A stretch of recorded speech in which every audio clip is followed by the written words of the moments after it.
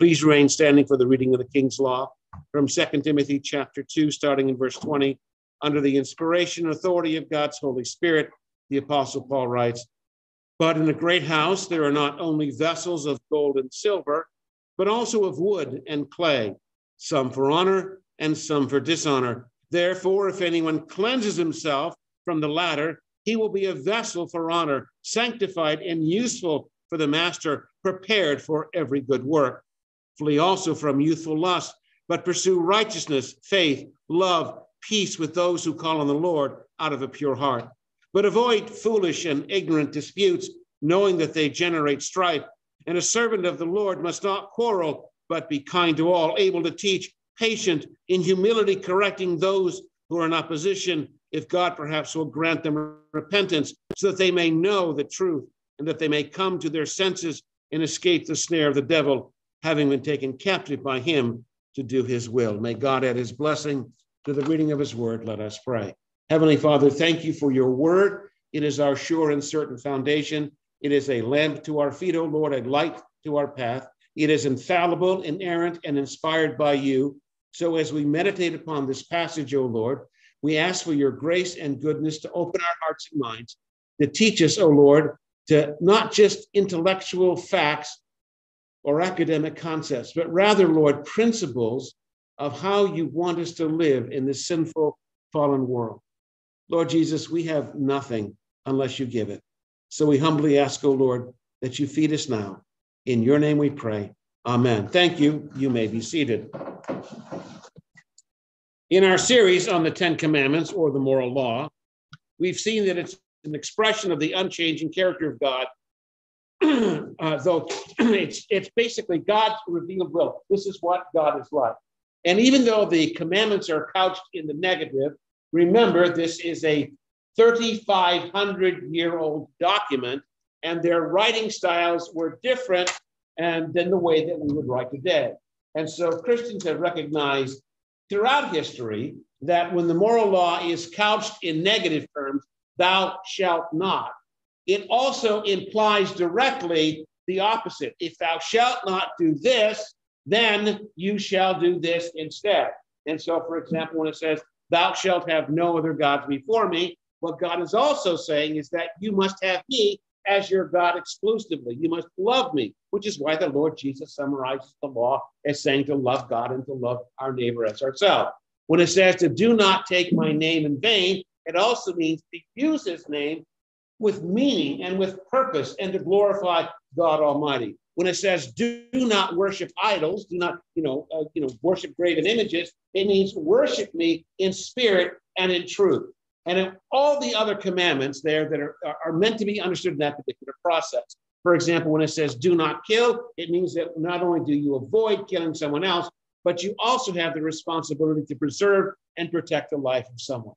And so when we come to do not commit adultery, it is not simply a prohibition against immoral, illicit acts against the integrity and the covenant of your family, but it's also a requirement that you fulfill your duties and obligations to your partner. You be devoted to that particular partner, that you fulfill your responsibilities under God's law, which is why we spent so many weeks looking at it. While there are godless, wicked men and women who deceive their partners from the very beginning of their marriages, almost always we've seen when adultery happens, it's because there's something that's gone wrong. Now, okay, when I say that, remember, okay, people can get married. They might not know the other person. At the moment that they say their vows, they might be sincere, but then because their lives are lived based upon their feelings, when their feelings change, they no longer think that their vows are appropriate. And so what happens then, in my experience, with all due respect to everyone involved, usually when adultery occurs,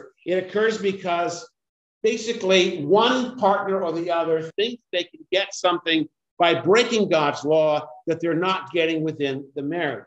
It could be because they fell in love and their hearts and you know their minds and you know they were consumed with that incredibly powerful feeling that we call romantic love and i call it romantic infatuation and so then when they get married and after six six months or a year or so those feelings drop away you know then they think well we've lost something we've lost something spicy we've lost something significant i want to i want to recapture the thrill well you can't recapture the thrill.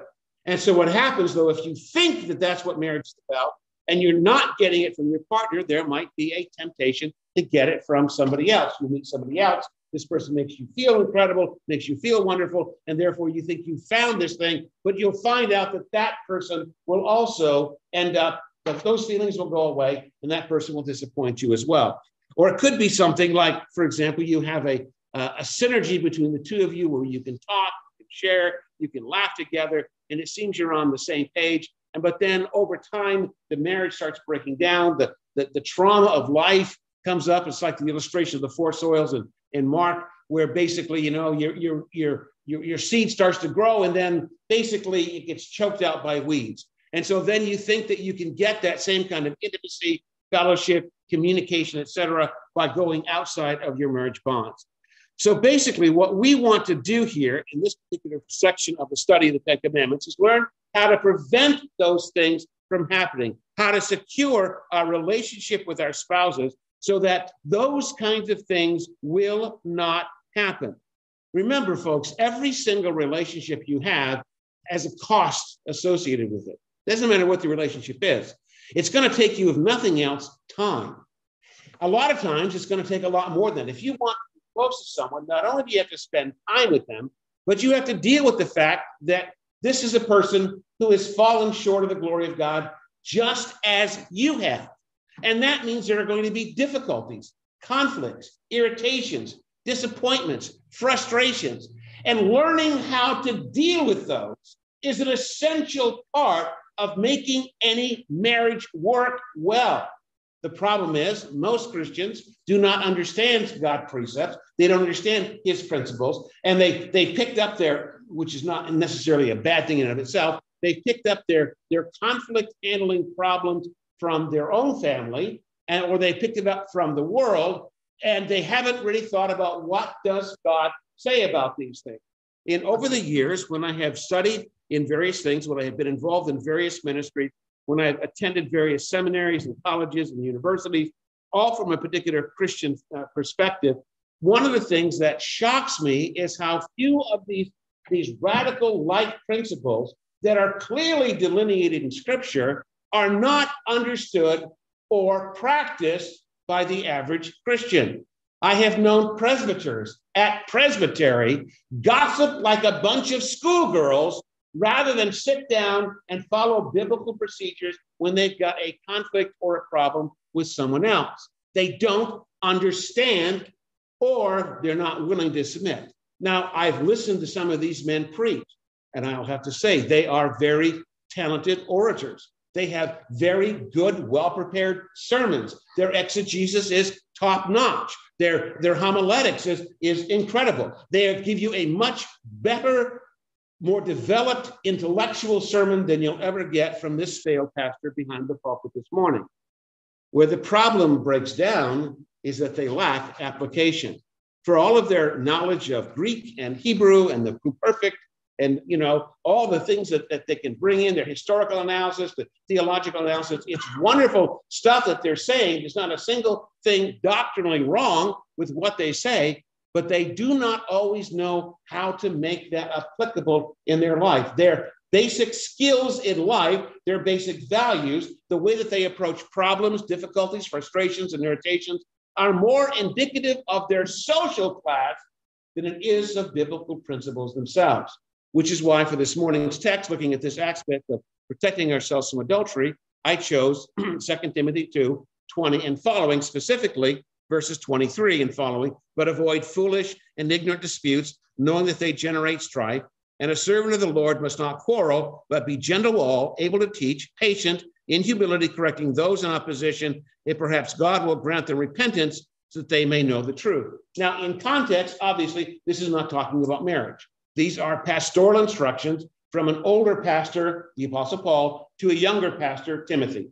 Timothy was a kid that, that came from a, a Christian home. Uh, he was circumcised by Paul, and well, not by Paul, but circumcised so that he could attend Jewish functions. But he had a, a, a, a Gentile father, but a, a Jewish mother. But he, the Jewish mother, loved the scriptures from an early age. Almost for sure, you can guarantee that that probably her marriage was one that was made by her parents, because she seems to have been a godly woman, as was her own particular mother.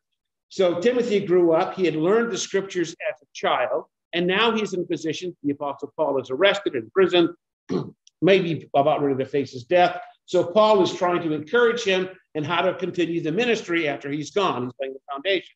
So this is about advice from an elder pastor to a younger pastor.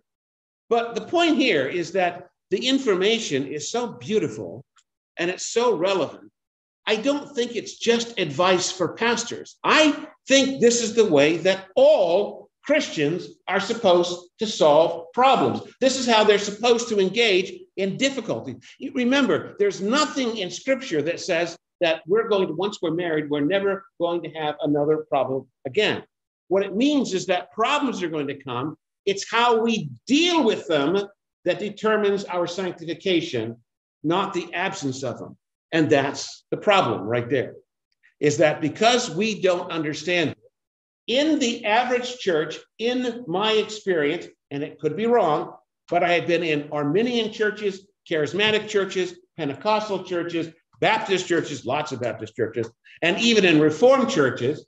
Basically, what happens is that people put on their best clothes on Sunday and they smile and they're nice and they want to be nice. And the idea is that the church is a nice place full of nice people doing nice things. Isn't it nice to be nice to the nice?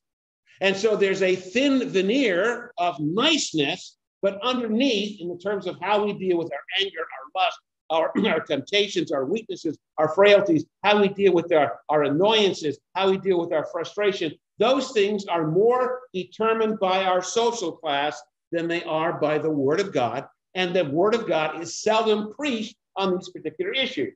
And the reason why is because if a pastor gets up and starts saying, hey, people, no more gossip, right? Stop gossiping about people. Stop whispering behind their back. Don't say negative things about people. If you've got a problem with someone, don't come to me, go to them. Guess what?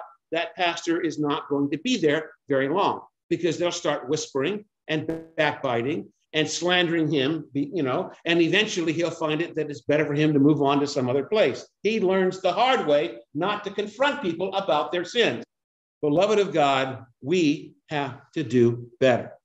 And so, therefore, the first thing that we need to understand is to wake up and to be real men and real women in Christ and recognizing that in this sin filled world, there are always going to be conflicts, even in the best marriages. I don't care how well educated, how upper white middle class your values are, you know, how, how, how, how great a background you have, there's going to be conflicts. And if you don't see those conflicts, it's because basically people are not dealing with the conflicts. What they're doing is they're keeping them out at arm's length. They're pretending they don't exist. It's like the redheaded, you know, mutated stepchild that they keep chained in the attic and they hope nobody hears it screaming in the middle of the night. They don't want to deal with the fact. And so people will be nice and they'll be friendly and they'll have a facade on them, but we call them plastic people or sometimes pod people because they look human, but they're not really human. My point here, of course, is that we, everyone has problems.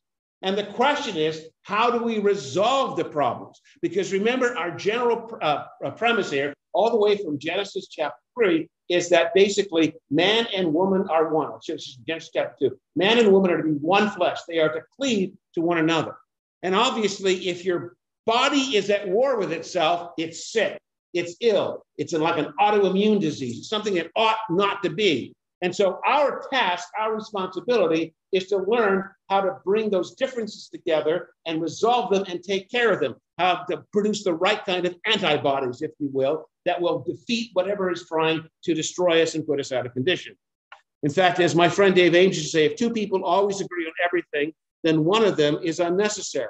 And the point is, is that in some churches, Lord bless them, and I'm not trying to be critical of others just to point the finger at them, but I'm saying that one of the problems that happens that some churches, which are upholding the biblical standard of men being the heads of their households and women have a moral responsibility to submit to their husbands, what that turns into is basically some sort of you know, male sexist, you know, chauvinist pig kind of thing there, where the man is dominant and he's in control, and therefore he's like a, a little little king in his little kingdom, right? And he's ruling everything. And that is not the biblical picture of marriage.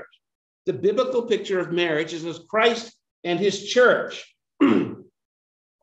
That's why in Ephesians chapter 5, the Apostle Paul says, Husband, love your wives as Christ loved the church and gave himself up for her. Jesus said, The Son of Man did not come to serve, I mean, come to be served, but to serve and to give his life a ransom for many. Gentlemen, all of us in here are men. The picture of your duty, your responsibility as a husband and father comes from the Lord Jesus himself. And what did Jesus do? Did he come and have his disciples serve him?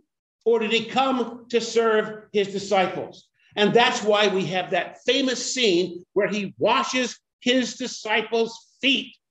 And there's a picture and there's reason why he did it. He took on the form of a servant to say to his disciples, that's the way you serve your people. You're going to be given great authority and great responsibility. It's not there to make you feel superior. It's not so that you can take advantage of others. Whenever I hear about some preacher, usually one of those televangelists from back in the 80s, making millions of dollars off poor little old ladies giving their social security checks, all I'm thinking of is that person is from hell. That person is perverting everything that the gospel is supposed to be about. And the same thing applies to you as the head of your household. You're not there to be served by your wife and to have children to be little reflections of your ego. You are there to serve them by being a man of God, by standing up, by teaching the scriptures, by, by being helping them to understand the scriptures, to memorize the scriptures, to be catechized and learn sound doctrine, in order to present your wife perfect and blameless without sin or stain on the great day of redemption. And that's what you're going to be judged on. That's what makes most important in your life is whether or not the woman to whom you are married is wiser and holier and closer to God because of you and your headship in the church. That's why you're given that responsibility. And yes, women do have a subordinate position, even though they are equal in honor and glory. They have a subordinate position to be a helpmate to their husband, and they have to they have to basically sacrifice. They serve their husbands and their children by sacrificing sometimes their own goals their own long-term objectives and you know they, they could have been they might have been a, a, physician or they, they they could have been a you know a teacher or they could have been a, a, an executive or they could have been a successful lawyer or whatever it is that fantasy the modern culture says for a woman. Yeah they could have done all those things but they gave those things up so they could be a wife and a mother nurturing her family and presenting it gracious service is at the heart of christianity. It is the heart of christian morality so even if you have two people who understand that, there are still going to be conflicts. There are going to be differences of opinion. It could be, it may be, it, you know, it's very possible that you can have two people who are smart, intelligent, savvy, they're committed to godliness, but at the same time, they might have different goals, different objectives in mind. And they may be disagreed upon the which way they're supposed to use limited resources in order to achieve a particular end. Now, you could resolve that by simply saying, well, the man is the head of the household. So shut up, women, and just do what your husband tells you. And if you say that, I will listen to you politely and I, I won't tell you what I think because I don't think that you're supposed to answer a fool, you know, according to his own folly, because that's what that statement is. That is the dumbest thing that you could do as a husband because your wife is there for a reason. She is not there, she's not your first sergeant there to carry out your orders, but rather you are partners. The two shall become one flesh, the two shall cleave unto one another. The goal is for, for you two to bring your thoughts, your ideas, your perceptions, your evaluations together. Two are better than one because if one stumbles, the other will help them along. You know, a many stranded cord is, is more difficult to break. So basically, if you have a disagreement, a conflict between the two of you, it's not a matter of who's right and who's wrong but how can we work together to achieve the best possible end with the limited resources that we have? And I would suggest, I could be wrong, I'm not all that wise, but I would suggest that in the best of marriages, when husband and wife come together, they talk, they reason, they think, they pray, they, they work through it biblically, and we'll talk about that in a moment. What happens is that eventually you're going to forget who came up with the right idea because it's going to be an organic kind of process that goes on. To the contrary, if you're thinking about, well, I was the one who came up with the right idea, why didn't the other person listen to me at the beginning? I could see it clearly. Then it's really all about your ego and your pride, and it's not about the welfare of the other person or of the family. Men are put in a position to have responsibility for their families in order to serve them. And so, therefore, the wise man, understanding that his wife has a different education, different experience, has seen different things, perceives things through a different perspective uniquely, there are things that women see that men don't. And dare I say, it's the same way women as well.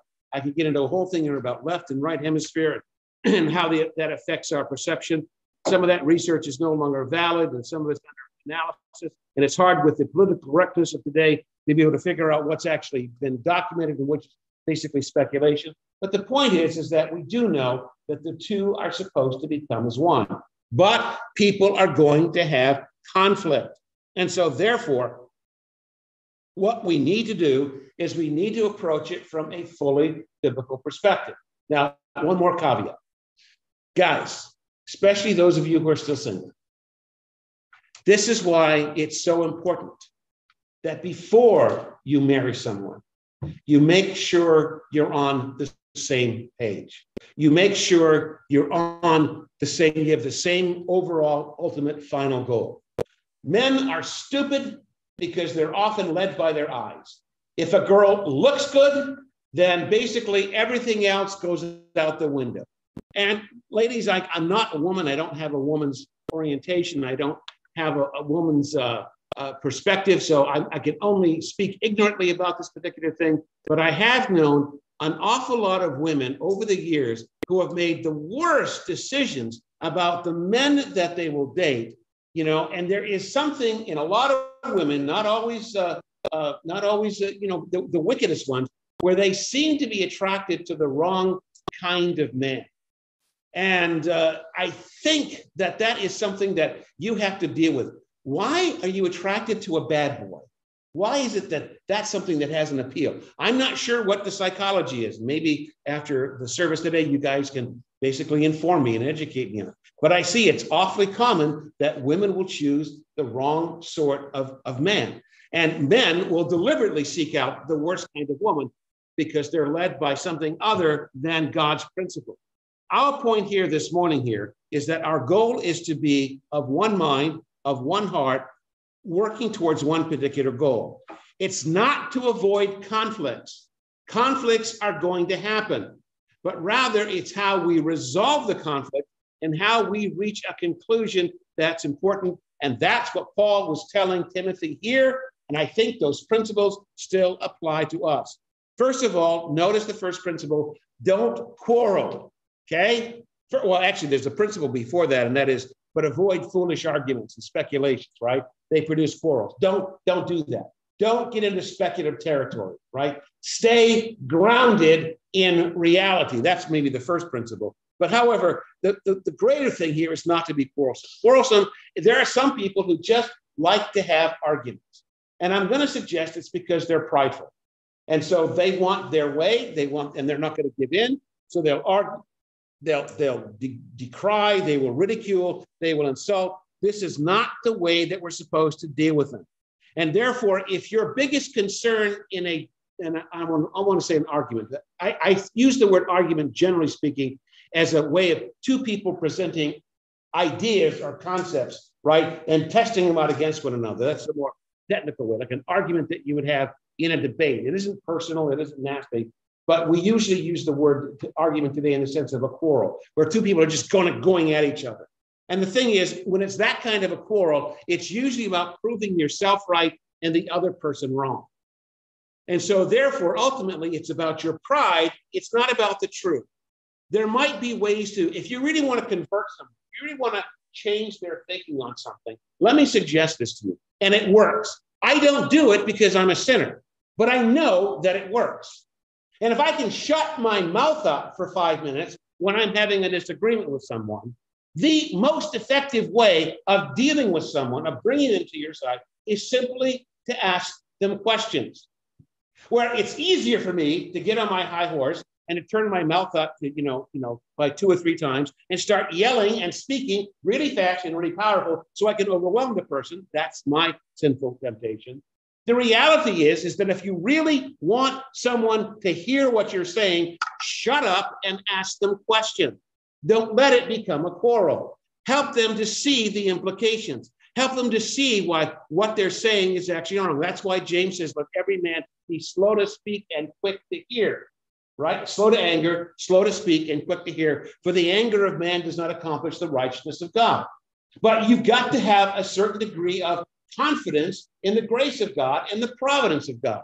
You've got to be willing to sit back and say, it's more, it's not about me winning this particular argument and showing how much better I know this or I understand this, but rather I want to help this person to come to a richer, deeper understanding. So let me ask this person questions. And then you follow that up with another question and another question and another question. This is the Socratic method of, of teaching. And basically, you lead that person to the place. And at the same time, if you're asking someone questions, it might find, you, you might determine or figure out that maybe you didn't really understand what the other person was doing. I cannot number the times when I've gotten into a quarrel with someone, you know, over the years, debate or yeah, something like that. And it comes out that at least 75% of the time, the person was upset with me not because of what I said, but because what they thought I said, or they thought there was another agenda. They didn't understand. And I know this is going to be going to be kind of condescending when I say this. Let's be honest, a lot of people aren't as smart as they think they are. And you're not as smart as you think you are. I definitely am not as smart as I think I am. And what that means then is that learning to be slow to speak and slow to anger and quick to hear by asking other people questions and leading them to where you're what you're trying to say. Basically it stops the arguing the quarreling aspect and allows there to be a bit of peace so in a marriage situation when you really just want to rip a strip off your spouse because they've said or done something that you didn't like didn't approve of maybe instead try to figure out why they did what they did. What was it they were trying to accomplish and it might be by asking questions of the other person, by not quarreling with them. What you find out is that their reasoning was very good. Maybe they made a mistake somewhere in their reasoning, but then you go, oh, if I had been in that situation, I would have made a similar kind of decision, knowing what that person knows. But they didn't know that. And so, okay, we can work through it. However, if it's all about your pride, it's all about showing who's right, it's all about domineering what's going on, and this is one of the reasons why, when I say this, again, it's going to sound bad. I know I don't know how to express it really. It's the reason why, ladies, sometimes, especially if you're you, you need to give your husband enough rope to hang himself with. Uh, you know, you can get into a fight with him, you can argue with him, and that, that's just gonna just gonna wound it back up because men have got testosterone. And if we see something as a challenge, then you'll either get one of two things: you'll get into a really big, nasty, cantankerous kind of thing, or you'll get a whipped puppy. And uh, if there are wolves outside the door, you don't want a wolf puppy, you know, I mean, excuse me, a whipped puppy guarding your sheep. So you don't want to whip him into shape that way and make him into, you know, emasculate him. But at the same time, you don't want to always be living in fear. And one of the ways to do that is basically learning to ask your husband questions and not to be defensive and not to be afraid, but just to ask questions. Guys, I know this works. It's a biblical principle. I used it when I was in the military. When I was a lowly E5 staff sergeant, and I had a dumb second lieutenant that worked for me that had less time in the service, but he had the authority. And basically, you can't tell second lieutenants you're dumb, even though they're stupid, because they don't know anything. What you have to do is ask them, when they, especially when they give you a dumb order. You basically say, "Sir, okay, I hear you want me to do this, sir. Okay, uh, sir, uh, are you aware of uh, of you know, you know AFR, you know, 3715, whatever it is, you know, and the implications are, you know, you ask them questions and you lead them down. You don't get into an argument with them. It makes your life a whole lot easier. And any lieutenant that's worth his salt knows that even a junior NCO like E5 has been in the Air Force for six years longer than him, knows how the system actually works. And if he's got anything on the ball whatsoever, he will listen to what his, in fact, what he should do is brag himself a good master sergeant.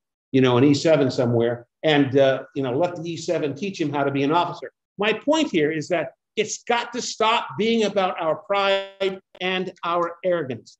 People might have lawful, legitimate problems. And so it should be our responsibility in serving one another to figure out what those problems are, articulate it, and then help them to solve it. That is the secret to key leadership. And it's a think secret, I think, to working as a group. Especially since husband and wife are to be one, they need to spend time talking together. And guys, I know you don't want to hear me say that. Sometimes you're going to see what needs to be done and you just want to get on and do it. And your spouse may not be on board with that. And you owe it to her to share with her your thoughts, your ideas, and your plans, and that the two of you come up together with a mutually agreed plan of action. And then you have the responsibility to keep to that plan.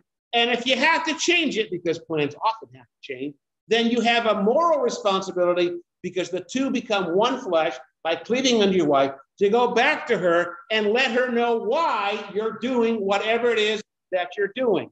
If you want to bring peace to your household, if you want to rekindle the romance in your relationship, if you want to serve your wife and actually help her, then talk with her and together come up with the plan. What is our goal? What is our purpose? What is objective? You are not giving up your headship. You are practicing your headship when you do that. You are making the best possible use of all the people in your family with your responsibility.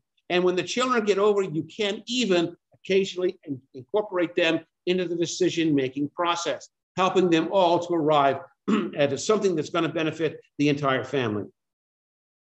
And therefore, husbands and wives often have to have long discussions about what to do or how they're going to do it, but they don't have to have arguments about it. And that's the point. Don't let it become a quarrel. Once you start arguing in the bad sense of the word, what you're demonstrating is that it's no longer about the problem, but it's about who gets to solve the problem. Whose solution will we go with? And so you're arguing about pride and position. You're not arguing about what actually needs to be done. This doesn't mean giving in to the other person, but it means simply working together. And I got to say this that when over the years, as Elaine and I had various decisions that had to be made, sometimes it's like, what country are you going to live in? You know, what are we going to do with our children? You know, where are we going to go for education? And where are we going to get a job? What part of the country, part of the world are we going to live? All of these things, sometimes we had to fast over it. Sometimes we had to pray over it. Sometimes we had to, to you know, spend a couple of weeks, you know, thinking about various things. But the thing that never happened was never going hammer and, hammer and tongs at one another, fighting each other, arguing over who gets to do what and when they get to do it, because we always talked about it ahead of time. And so when the decision came to be made, we're both on board. It's not me having my way or her having her way, but rather the two of us together coming up with a plan of action because you shall, this person, for this reason, a man shall leave his father and mother and shall cleave unto his wife, and the two shall become one flesh. That's the goal. And so don't quarrel. Second of all, Remember this the Lord's bondservant must not be quarrelsome, but kind to all. Now, remember, I think sometimes kindness gets bad words or a bad meaning amongst Reformed Christians because a lot of churches that just be nice to people. Kindness is not the same as niceness. Niceness is, is a superficial kind of thing. It doesn't hurt you when you walk into a store to say good morning to the person behind the counter. It doesn't hurt you when you're you know getting your stuff if you you know you smile at the at the checkout clerk and go how's your day going? Yeah it's really frustrating. Yeah. A, a kind word like that that's always kind of nice. But kindness is basically it's an orientation. It's something that you do i'm sorry this is going to sound condescending but it's something that happens whenever i pick up one of my grandchildren especially when they're like really super little and they're just they're kind of and i'm not a big baby person guys. I mean babies women love babies I guess they go, they remember when the when they had their babies and they were so small and cute. I'm not a big baby fan because you're like, okay, I'm with you. You're cute. Okay, I know coochie coochie coo. Okay, now what do you think about the hypostatic union? Don't you have an opinion on that? Come on, come on. You know, it, it doesn't. When the kids get older, when they get to be toddlers and you can actually talk with them and play with them, they are absolutely delightful. But still, at the same time, kindness means that you recognize that, that they don't always understand things. They're smaller, they're, they're not as strong, they, they, they have frustrations. So when a child gets really angry with you because they, they want to do something and you're not going to let them do it, and they will go, you've probably heard this from your own children at one point, you know, I don't like you, you're mean, right? You don't take that personally. You realize this kid is a kid. They're trying to hurt because they feel hurting. And so if you take it personally and go, oh, you you really break my heart. Oh, I'm going to go cry in the corner. No, you don't do that, right? Because you you understand who you are, and hopefully the way you're interacting with this child is in such a way it's for their benefit, not for yours. And so what you do is you help them work through that. And you can say, you know, that's not a very nice thing to say. You shouldn't say things like that. You know what? I love you. I really like you. I really like hanging out with you. You know, you're not trying, you're not going to take it personally. Kindness is basically treating people the way that God in Christ treats you on a regular basis. Every morning when you get up out of bed, that's God's kindness because you deserve to die in your sleep.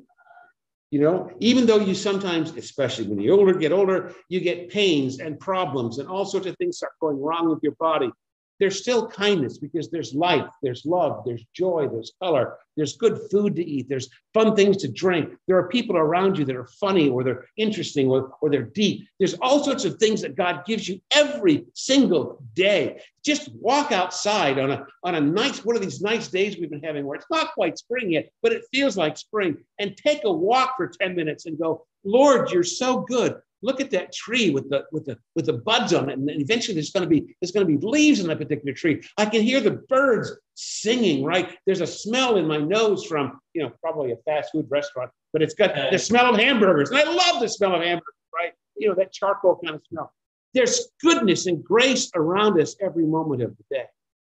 And what that means is that's God being gracious to us, even though we live in this horrible fallen world. How much more are we required to be kind to one another. It doesn't mean we back off the truth. It doesn't mean we let people get away with sin. Sometimes kindness requires that you pick up, you know, your child or your grandchild sometime and you swat them across their backside because they're doing something usually rebellious and wicked or dangerous, right? Like they're they're you know they're pushing over their little brother or sister or cousin or whatever. They're being mean or whatever, and you got to correct behavior. But you're not doing it because you're personally offended or because you're you're angry at the child. You're doing it because you want that child to grow up to be to be fun to be around, to be responsible, and to be able to control his emotions. If that's true for children, how much more ought to be true of the way that we deal with one another?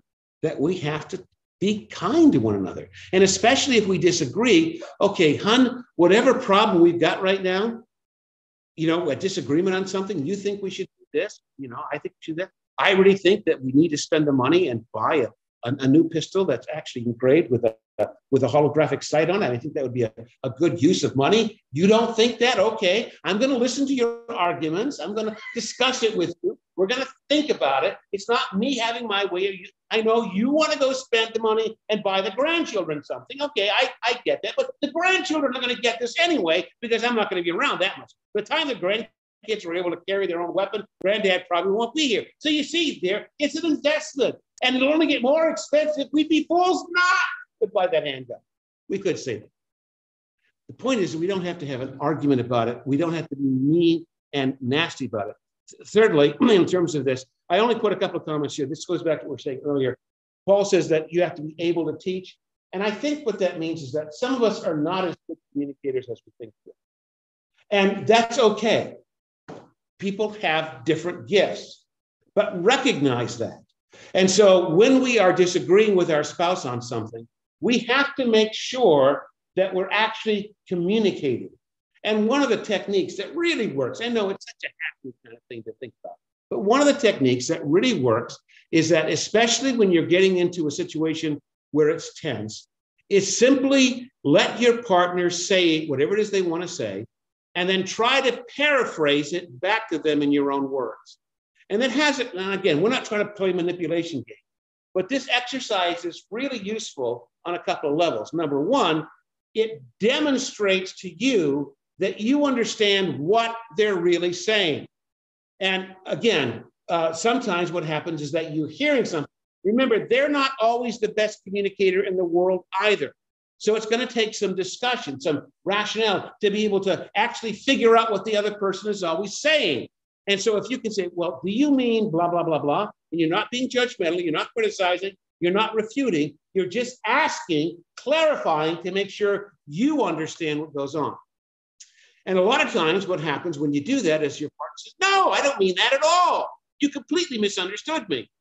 Okay, so what did you mean then? And you can listen a little bit more carefully.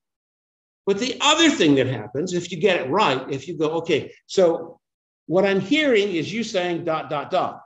And the person says, Yes, that's exactly what I'm hearing, what I'm saying. And then she goes, Thank you.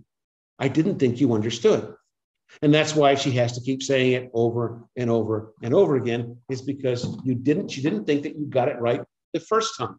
And that it removes a lot of the pressure. And so once you're both on the same page, it, it, you're about 50% to solving whatever the problem is at that particular point. But that means you're able to actually teach, you're actually able to interact with people. So by asking questions, by paraphrasing what the other person is saying, and then by always keeping the kindness thing, this problem, it's not a battle between you and me. It's together, there's a problem out here. And we are here to kill the ogre, right? We're here to go up against the dragon. And we have different strategies, right, of how to get how to defeat the dragon. All right, that's fun. Okay. Obviously, dragons are big, nasty, dangerous animals, right? You get it wrong, they're going to eat you. You're supposed to smile at that.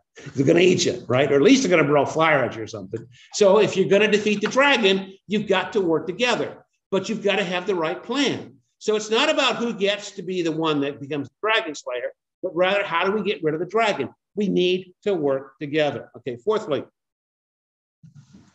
how to be patient when wrong. Notice there's a theme going on here. Okay, we often, as Christians, play by uh, we we argue, we have conflicts, we solve conflict by play by playground rules, and the playground rules are basically this: He hit me first, right? Those of you who grow up with siblings, right, you know that when your parents came in because somebody was crying, somebody was upset, you know what happened? He hit me. Now, what's the answer? Well, he hit me first.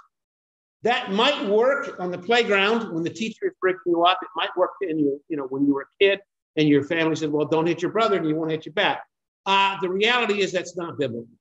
Scripture says very clearly, First Peter, do not return evil for evil or insult for insult, but give a blessing instead, for you are called to the very purpose that you might inherit a blessing.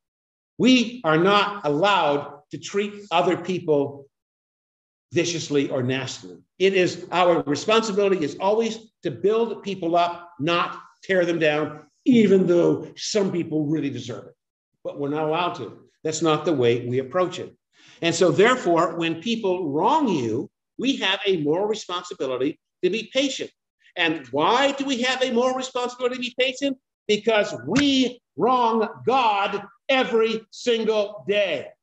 And rather than God Almighty sending a lightning bolt down and, you know, electrocuting us and wiping us off the face of the earth because we're foul, blasphemous, heretical, stubborn, stiff necked, idolatrous, blaspheming individuals, instead, He is kind and gracious to us, giving us time to repent. And therefore, Christian, if that's what God does for us, how much more must we as sinners give grace to other sinners? And so being patient then basically lets sometimes people are upset. The personality is different, but some people they they're upset and they're and, and, they're angry and they've got all this stuff coming in and it's going to come come from oh I don't want to be too graphic here, but it's to come spewing out in all sorts of terrible ways. And basically, it's just like when your kids are sick and they're young and they're little and they get upset, and basically you have to clean up the mess. You don't get angry at the children you understand that that you're the one that has to take responsibility you're taking their clothes off you're cleaning up the mess on the floor you're putting them in the bathtub to wash them clean and you don't want to be nasty mean and torture i hopefully you're not going to be that way you realize that you've been wrong. You just wanted a good night's sleep. The kid is the one who's wronged you by coming in at three o'clock in the morning, all sick and that kind of stuff. You know, this is, a, but you deal with it because that's what parents do for their children. And how much more then husbands and wives do that for one another. And basically, love, you know, covers a multitude of transgressions. And sometimes it means, doesn't mean that you let them get away with it, but it also means that sometimes maybe they, they, they, you're right, they're wrong, and God has to, be, you know, change them inside. We're getting around that in a second.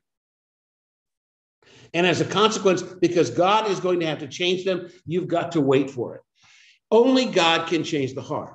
If you're bigger and stronger, or if you're meaner and nastier, you can bend people to your will. You can out argue them, you can out yell them, you can out crazy them, you know.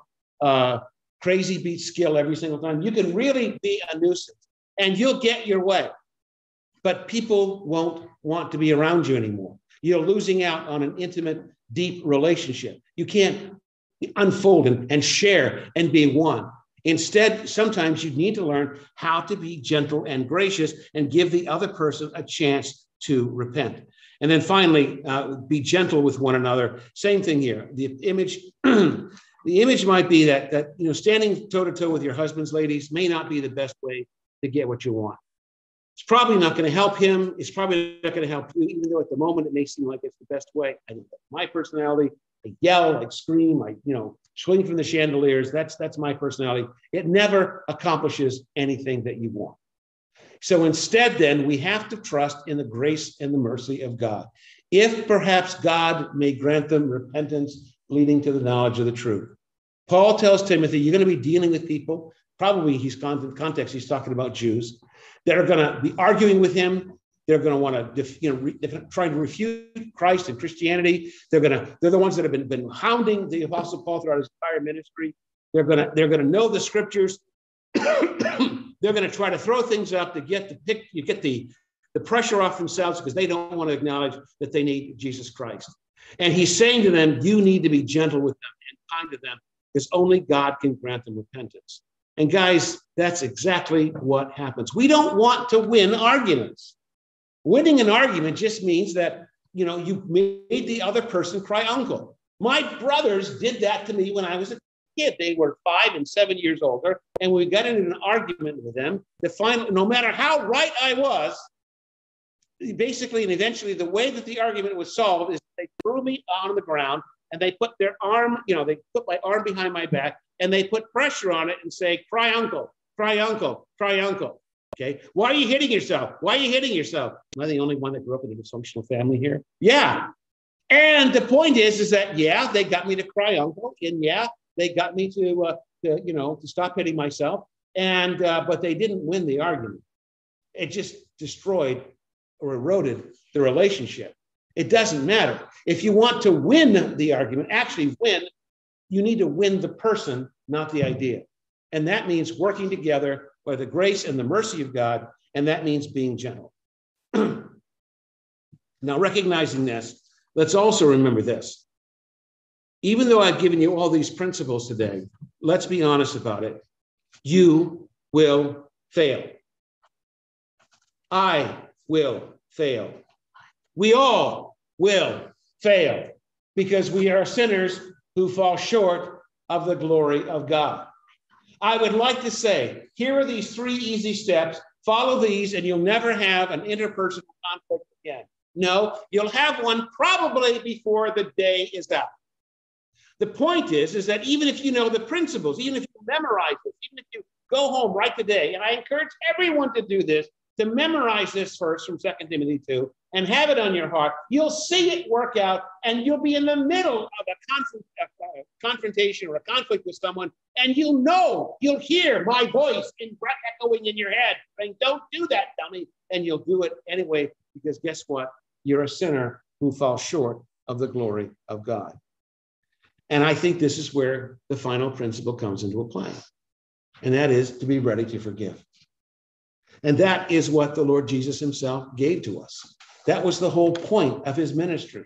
That's why he came and died in our place. And that's why when, when Peter comes up and says, Lord, you know, how many times should I forgive my brother? Up to seven times? And Jesus says, no, up to 70 times seven. And that isn't, you know, whatever 70 times seven is 490, whatever. That isn't what he's talking about there. What he's saying there is that it's an infinite number of times. Forgiveness is what we owe one another because God in Christ forgave us. Forgiveness is not a get out of jail free card. It's not a way of going, oh, I can be sinful, I can be rebellious, I can be wicked, and then I can say, please forgive me. And I, you know, therefore I don't have to pay the consequences. There may well be terrible consequences to it. But the forgiveness aspect is what gives us peace and what heals the relationship. If you find that when you're in a confrontation with one another, and I have pictures in my head of growing up as a child, and I won't go into detail about it, but you know, basically you start bringing up who said what when year from years before, who offended who, who started this particular confront, you know, confrontation from 20 years ago. You've already lost what's the most important. Doesn't matter who who gets to sleep on the couch that night, who goes to the local motel, you know, who gets separated. That doesn't matter. What matters is you've both lost at that particular point. Rather than justify, rationalize, or explain away or excuse our sins, we have to first of all Stop playing that game and just admit it. You know what? I sinned. You're right. I shouldn't have said that. You know what? I said I was going to do this and, and I didn't do it. And that was wrong because I made a promise to you and I didn't keep that particular promise. Please forgive me. And I'll, you know, by the grace of God, I'll see about if I can make some changes in how I think or how I act so that I can be not that person anymore. And there's a whole dynamic that happens when we learn to live in forgiveness for one another. I will say this, I said it before, I'll say it again. It's one of the things I'll probably be saying when they're throwing dirt in my face, and that is never go to bed angry. If you've got a problem with your spouse, resolve it. It doesn't always mean that you can fix everything, but it says in Ephesians chapter 4 be angry, but do not sin, and do not let the sun go down in your anger. And that means that if you're angry, and you might be righteously angry, maybe your, your partner did something stupid or dumb or sinful, and you really have a right to be angry. But what you also have is a duty to be reconciled. So that person needs to repent and say, I have sinned against God. I have sinned against you. I repent of this. Please forgive me. And then sometimes the problem is going to be so big that you can't resolve it then necessarily. You're not going to be able to work all the things out. But if you're willing to forgive each other, you can lay that knife in each other's arms, snuggle up to each other, say, I love you sincerely to one another. And the two of you can be one flesh, not in any kind of in a metaphorical sense here. You can be of one mind and one heart, even if you know we've got a lot of work to do to actually deal with this particular character issue down the road. And it might be a pretty big one. And that's why we have pastors and elders to help us work through those particular issues. But the point is, is that you never have to feel hopeless in your marriage as a Christian. You never have to feel like this person isn't worth my time, that this is a horrible individual. And we can talk about the extreme things here, but what we're talking about here is the way that most Christians are living their lives. We can be at peace with God and at peace with one another. And that's how we attain unity inside the family. And when we maintain that unity in the family, we bring that same unity into the church. We resolve our conflicts and our problems together by dealing with them on a regular basis, kindly and humbly, being quick to repent and even quicker to forgive. Let's pray. Thank you, Heavenly Father, for your goodness, grace, your mercy, and your love. Thank you that you forgive us every moment of every day. Thank you, Lord, that you wash us clean. And Lord, we humble ourselves before you. And whatever sins are poking around all of our consciences right now, Lord, we don't want to sin. We, we don't want to break your commandments. We don't want to give in to our own anger, fear, frustration, lust, passion, whatever it is. We want to be your man or your woman. And sometimes, Lord, we don't know how to become that. We're at an impasse. So there's a something blocking the way. But Lord, in faith and confidence, we turn to you and ask for the work of your Holy Spirit to do whatever it is that He does inside our hearts and our minds to grant us repentance, to grant our partners repentance, Lord, so that we can forgive one another, we can be reconciled to one another, the problem itself can be resolved and that we can grow closer to you and to one another to glorify your name. So help us, Lord Jesus. In your name we pray. Amen.